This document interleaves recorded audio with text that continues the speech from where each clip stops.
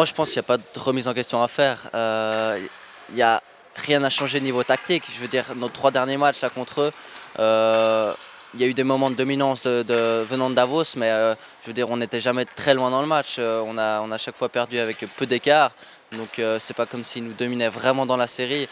On, a quand même, on est quand même à deux doigts de, gagner le match à chaque fois. Donc je pense qu'il n'y a pas beaucoup de choses à changer. C'est vraiment bah, approcher le match qui vient avec euh, toujours plus d'envie et toujours plus de motivation.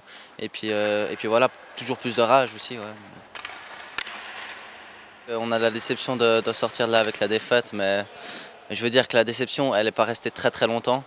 On s'est tous un peu remis, enfin pas remis en question, mais on a tous su que de toute façon maintenant, le passé c'est le passé, et puis ben, le prochain match, il faut gagner les quatre prochains matchs si on veut passer au prochain tour.